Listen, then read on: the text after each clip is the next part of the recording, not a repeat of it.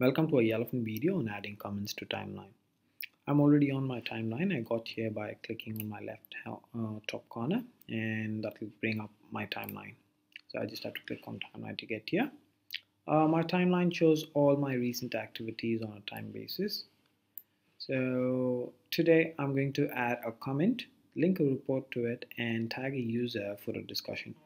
I can also uh, create comments for particular reports please watch our video on adding comments to reports for that.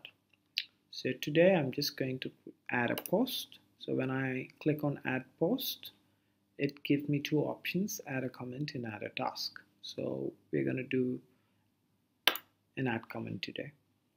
So when I click on add comment it opens up a comment box where I can type out the comment that I want to.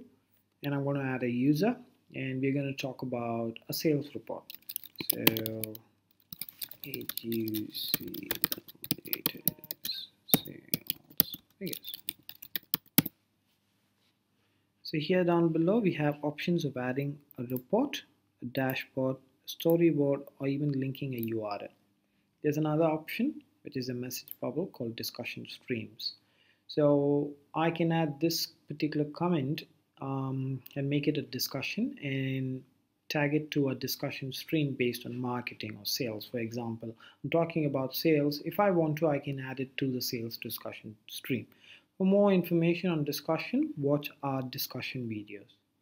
So for now, I'm just going to add a report to it. I'm going to add the sales report and drag it across here.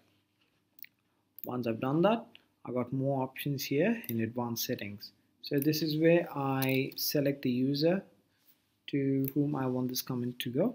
And here in decision required I'm going to turn it on and I'm going to give a date for the decision.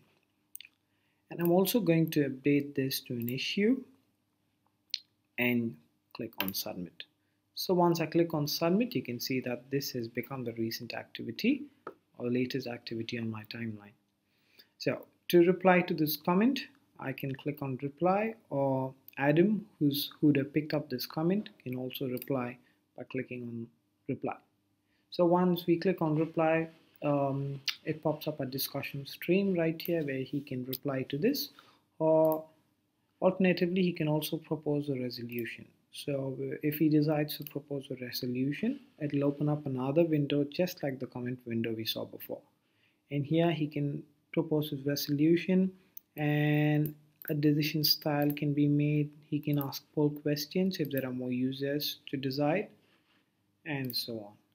And this is how we add comments on the timeline to another user. For more helpful tips please watch other videos